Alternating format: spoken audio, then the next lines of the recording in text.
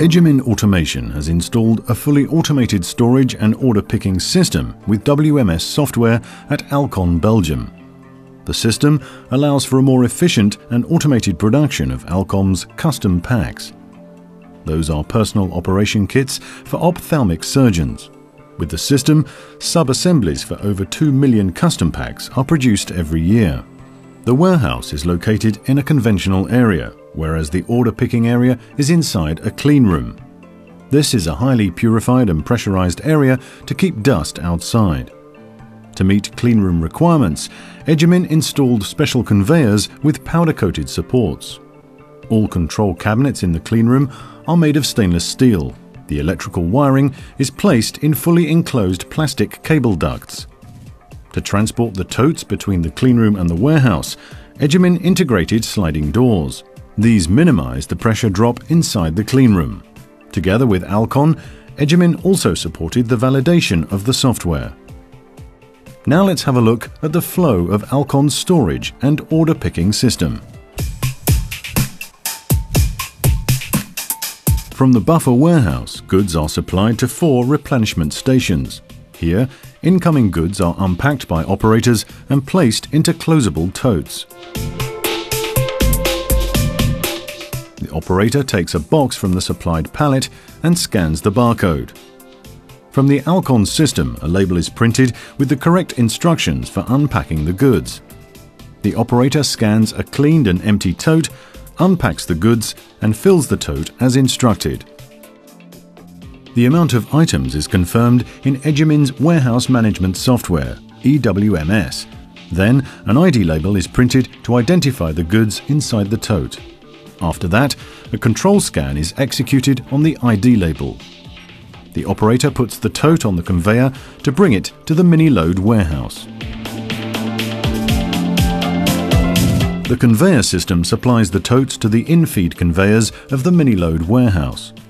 The warehouse provides storage space for 3,500 totes and has an infeed and outfeed capacity of 360 totes per hour totes are stored double deep by means of two high-speed stacker cranes. The storage location is determined by EWMS.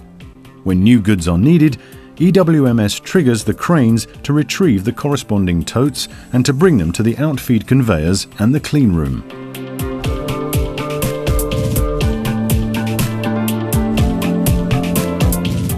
At the SMAs, or small assembly stations, subkits for the custom packs are prepared. These subkits are assembled with a maximum of five different items. Based on the production date of the orders and availability of goods, EWMS sends the required totes to the SMA stations. At the SMA station, each order begins with some order preparations in EWMS. The operator checks the supplied goods against the order list and registers a target tote. When all controls are performed successfully, the operator takes out the right amount of items by following the software instructions.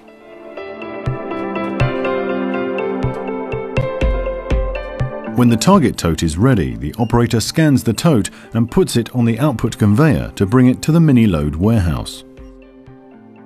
If more source totes are waiting for the same order, the operator repeats the control and assembly process until the order is complete.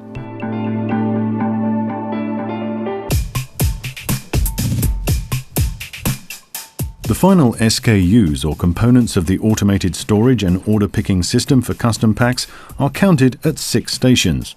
Just like the SMA stations, transport of the totes to these stations is fully planned and controlled by EWMS. For each tote, a control scan of the ID label is executed against the order list. If successful, EWMS instructs the operator to count the right amount of items for the order. The individual items are placed in small target bins. After confirming the amount of counted goods, EWMS will print a label to identify the goods. The operator attaches the label to the target bin and places the bin on a cart.